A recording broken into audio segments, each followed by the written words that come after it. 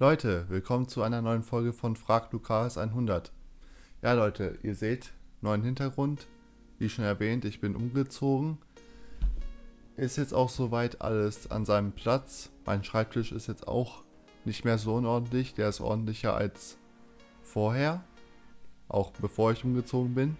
Ich habe ja mal erwähnt in einem Video, dass der Schreibtisch richtig unordentlich ist. Und jetzt ist das Ganze in Ordnung. Ja Leute, es gibt heute einen Kommentar und da ich ja der Inbegriff der Konsequenz bin, werde ich diesem Kommentar ein Video widmen. Der Kommentar kommt von Young Burr. Was hältst du von Club 3? Könnte mir vorstellen, dass es deins ist.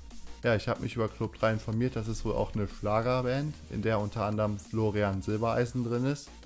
Auf jeden Fall danke für den Tipp. Ich werde mir die Band mal anhören und dann nochmal was zu sagen, ob es mir gefällt, ob es meins ist. Gut, ich würde sagen, Young Bird, dir danke ich fürs Kommentieren und ich danke euch fürs Zuschauen bei dieser Folge von Frag du KS 100.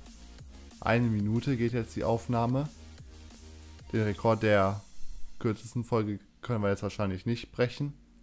Aber okay. Leute, ich bin raus. Ciao.